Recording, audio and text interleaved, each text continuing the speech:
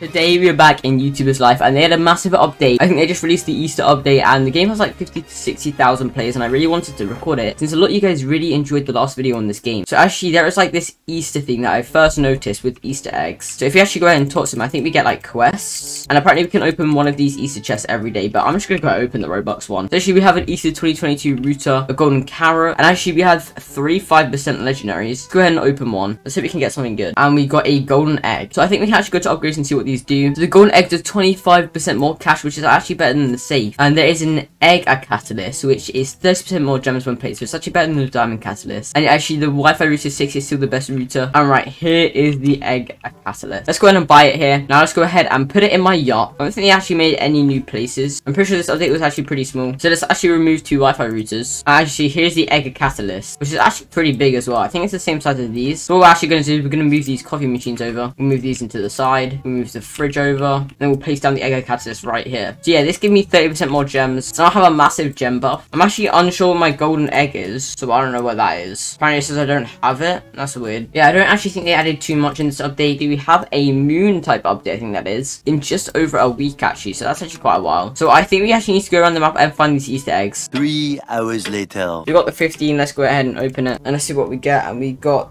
the bunny sofa. That's the 15%. There's actually a bunny sofa one, but we actually got the better one. Let's go check out what this looks like. I wonder if we can sleep on this instead of the bed. Oh yeah, they actually did go ahead and put these in limited. I'm not sure if they even do anything though. Let's go ahead and put this at the front door. Or let's actually go ahead and put this right here. For some reason we can't. I don't know why. Alright, we'll put the bunny right there. Then we'll actually put down this egg just behind it. And yeah, we can sit down, but it doesn't actually do anything. So I guess these Easter purchases are a waste. The update was actually pretty small in the end, but I guess it's still an update. The next update is in 8 days, so yeah, hopefully that's a big update. Because we actually haven't had a big update just yet. Yeah, I'm gonna go back to grinding and try to become the best Easter player.